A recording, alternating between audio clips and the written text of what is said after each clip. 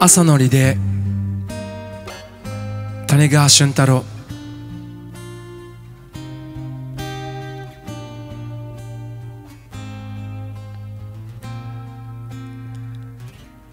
カムチャツカの若者がキリンの夢を見ている時メキシコの娘は朝もやの中でバスを待っている。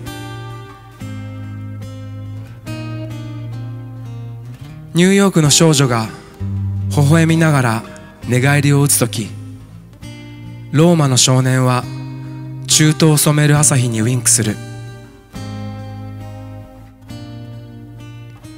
この地球ではいつもどこかで朝が始まっている。僕らは朝をリレーするのだ。軽度から軽度へとそしていわば交代で地球を守る。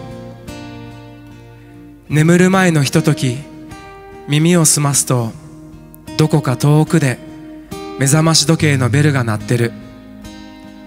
それはあなたの送った朝を誰かがしっかりと受け止めた証拠なのだ。